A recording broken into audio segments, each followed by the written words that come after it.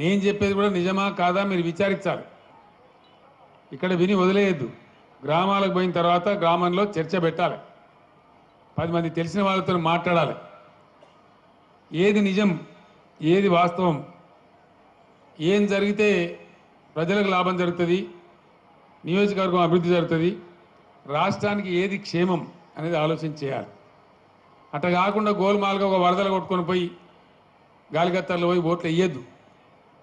అట్లా గాలిగత్తర్లో వేసిన రోజులు మనం బాగుపడం. నేను ఉన్నమాట చెప్తా ఉన్నాయి కొంచెం చేదు కనిపిస్తుంది కానీ నిజం వాస్తవం. మంచి వివేచన శక్తితోని ఆలోచనతోని ఏది నిజం ఏది అబద్ధం దేన్ని సమర్థించానో ఆలోచనతో సమర్థించాలి. ఇలా ఏం జరుగుతుందో మీ కళ్ళ ముందు ఇప్పుడు ఏమిని ఎలక్షన్ అనగానే ఆగమాగం గావర గావర కావద్దు. ఏమి ఇలా బ్రహ్మ పదార్థం ఉందా? ఆలోచన చేస్తే మొత్తం మీ కళ్ళ ముందే ఉంది మీ గ్రామాలలోనే ఉంది. ఏం పెద్ద దీనిలో తమాషేమన్నది ఏం లేదు.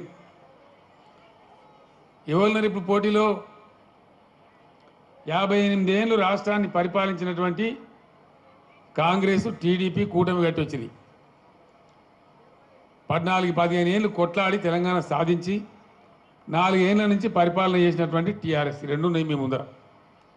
ఈ నడమల ఎవరెవరో ఉన్నారు పాపం వాళ్ళు. ఇవే పార్టీలు ఉన్నాయి. చరిత్ర కూడా మీ ముందరనే ఉండే మీకేం కొత్తోళ్ళ? వీళ్ళంతేమైనా ఆకాశంకి వెళ్ళి వచ్చిండ్రా?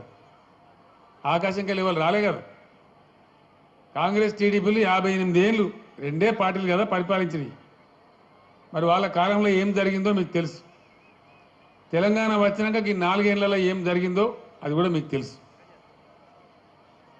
వాళ్ళిద్దరి పరిపాలనలో గ్రామాలలో కరెంటు ఎట్లా ఉండే? ఎన్ని గంటలు వస్తుండే? ఆయన ఎవరు ఉండగా ఆయన ఆయన పేరు మన కిరణ్ కుమార్ రెడ్డి. ఆంధ్రప్రదేశ్ చివరి ముఖ్యమంత్రి. ఇక ఆ అయితే ఒక చూపించింది ఇట్లా టీవీలో. తెలంగాణ అయితే మీకు సిమంజికట్ అయిపోతుంది అంధకారం అవుతుంది మీ పరిశ్రమలన్నీ పోతాయి. మీ తెలంగాణలో తెలివి లేదు మేమే చాలా గొప్పోళం అని మాట్లాడింది. మరి అంత గొప్పోళ్ళు మాట్లాడించినప్పుడు అంత గొప్పోళ్ళు మాట్లాడినప్పుడు చంద్రబాబు నాయుడు ఉన్నాడు. పంపించిన కానీ ఆంధ్రాకి ఆయన మళ్ళా ఓడట వెళ్ళి మరి ఉంచుతారో పొడగొడతారో మీరు నిర్ణయం చేయాలి. ఆయన పెద్ద ప్రపంచ మేధావిని హైదరాబాద్ నేనే కట్టినట్టాడు. నన్ను మించినోడే లేదంటాడు మరి ఆయన పీరియడ్లో కరెంట్ ఎట్లుండే? ఏం జరిగింది మనకు తెలియదా? చూడలేదా? మరి ఇవాళ ఎట్లా ఉన్నది కరెంట్? వట్టిగానే ఉంటుందా? నోట్ల మాటలు మాట్లాడితే ఉంటుందా? కఠోరమైన పరిశ్రమ చేయాలి. కాపలా ఉండాలి. ఇప్పుడు నా సెల్ ఫోన్లో కానీ నా ఐప్యాడ్లో నా దగ్గర ఉండే ఐప్యాడ్లో కానీ ఏ నిమిషంలో ఈ రాష్ట్రంలో ఎక్కడ ఎంత ఉత్పత్తి అవుతున్నది ఎంత సరఫరా అవుతున్నది అనేది ప్రతి గంటకు ప్రతి నిమిషానికి మానిటర్ చేస్తాం చూస్తాం. ఏమైనా తప్పు అవుతుంటే సవరించే ప్రయత్నాలు చేస్తాం. అంత కఠోరంగా దాన్ని ఎంబడపడితే తప్ప కాదు. మేము చాలా తెలివి కల్లోలమని చెప్పిన ఆంధ్రప్రదేశ్లో ఇలా ఇరవై నాలుగు గంటల కరెంటు లేదు. ఎవరినైతే మనం తెలివి తక్కువలు అన్నారో మన దగ్గర ఇరవై నాలుగు గంటల కరెంటు ఉన్నది. నేను చెప్తున్నది కాదు మొత్తం దేశం చెప్తా ఉంది. పర్ క్యాపిటా యూజ్ అంటారు. అంటే తలసరి వినియోగం. కరెంటు యొక్క తలసరి వినియోగం. మూడేళ్ళ కింద మనం ఎక్కడో ఆగమాగం అడివేడి ఉన్నాం.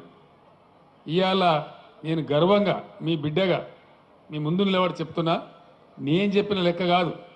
సెంట్రల్ ఎలక్ట్రిసిటీ అథారిటీ వాళ్ళు మొన్న ఒక వారం పది రోజుల కింద మొత్తం ప్రపంచానికి కుల్లా కుల్లా డిక్లేర్ చేసిండ్రు.